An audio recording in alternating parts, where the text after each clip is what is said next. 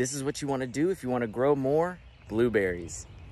All you have to do is brew a pot of coffee for your blueberry bush. Blueberries have to have a pH in the range of four and a half to five and a half.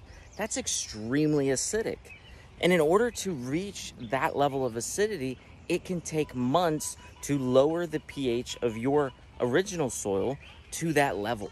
A regular pot of caffeinated coffee has more hydrogen ions than neutral ones. And what this means is that it has a very acidic pH, which is perfect for blueberries. And for obvious reasons, let the pot cool, don't give it to them hot, and also add a little bit of water. What kind of water matters.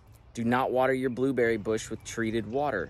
Treated water typically has a pH of seven to seven and a half and this is because it's treated with chlorine and chloramines and these chemicals will have a higher pH. Now I have my pot of coffee in a bowl and I'm just gonna mix it one to one with rainwater.